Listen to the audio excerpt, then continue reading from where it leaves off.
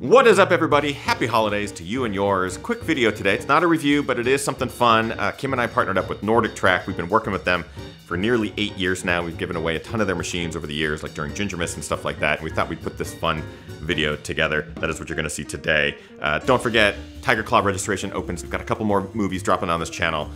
Ugh, so much going on. Sit back, relax, enjoy today's video. Winter is here. The unpredictable weather delivering blustery winds, icy rain, darkness before happy hour. Just getting out of the car can be a struggle. With motivation waning, sometimes it's just easier to say, Yeah, this.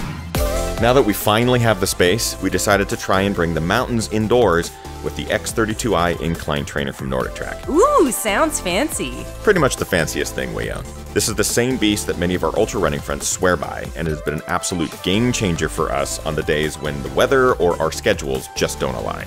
There's a bunch of workouts, a bunch of different trainers to choose from. Some where you get to climb Mount Baldy with Sally McRae, just like we used to do in LA. How'd that feel?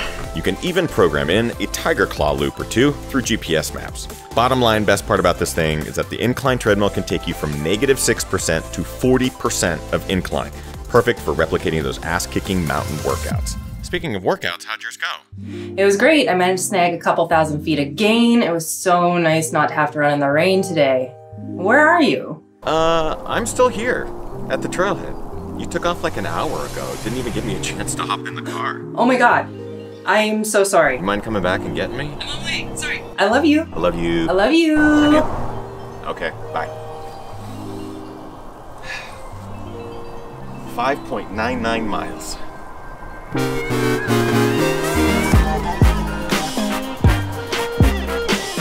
That was fun. Hope you guys enjoyed that video. Kim and I had a great time putting that one together. In all seriousness, the fall this year in the Pacific Northwest has been crazy. Storm after storm, record-breaking amounts of rainfall, and it's looking like the winter that we're heading into right now is going to be a lot of the same.